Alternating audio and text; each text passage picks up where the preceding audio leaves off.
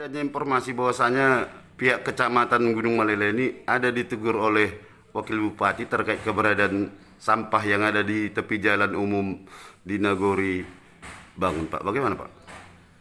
Eh, baik terkait informasi masalah teguran memang saya baru tahu tapi sampah yang ada di sana itu memang sudah kita upayakan untuk membersihkan lah ya sudah kita uta- upayakan untuk mengendalikannya cuman ada beberapa kendala bahwa setelah dibersihkan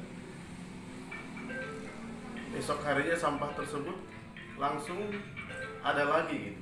Kita Hmm. juga menganalisa dari mana datangnya sampah tersebut, kemungkinan penduduk dari Nagori Asilum dan penduduk Nagori Bangun sendiri yang melintas Mm-mm. dari wilayah atau lokasi sampah tempat pembuangan yang tempat yang dibuat masyarakat untuk membuang sampah tersebut. Padahal itu bukan tempat sampah.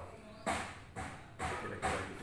Nah, Pak, eh, sel- se- selaku pemerintahan di kecamatan, eh, adakah eh, telah dilakukankah himbauan kepada masyarakat di naguri-naguri yang ada di kecamatan ini untuk tidak membuang sampah di, di, di apa di tepi jalan, Pak?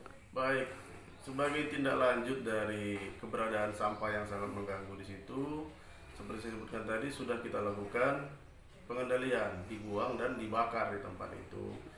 Namun da- sampah itu datang lagi, datang lagi. Kita sudah menyampaikan kepada penghulu pada saat itu, dua nagori agar menyurati dan mengumumkan kepada masyarakat agar masyarakat tidak membuang sampah sembarangan terkhusus di tempat tersebut Mm-mm.